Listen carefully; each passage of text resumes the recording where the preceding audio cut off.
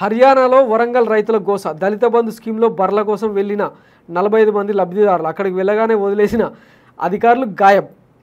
కమిషన్ల కోసం బంధించిన దళారులు. వారం పాటు తిండి లేక సచ్చినం భాషరాక అరిగోసపడ్డం. బాధిత రైతుల ఆవేదన. ఇగో బర్ల స్కీము ఇట్లా తయారైందనమాట రైతులను తోలుకెళ్ళింది అధికారులే. అక్కడ వదిలేసి గాయబంట ఇది తెలంగాణలో సంక్షేమ పథకాల పనితీరు.